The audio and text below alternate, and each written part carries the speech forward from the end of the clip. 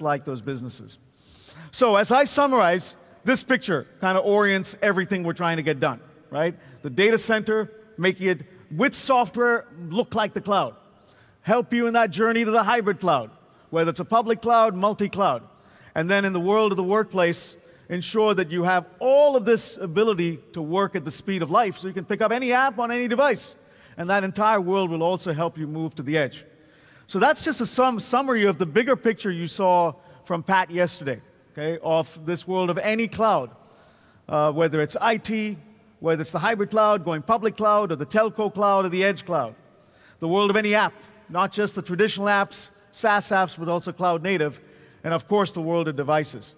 We think that this is a tremendous opportunity for us to be innovating up and down this picture for years to come. I think we first shared this picture five years ago, and I think we could be doing this for the next five, ten years easily because there's so much to get down, done up and down the stack. And we could not do this without you. So let me finish my part of the keynote with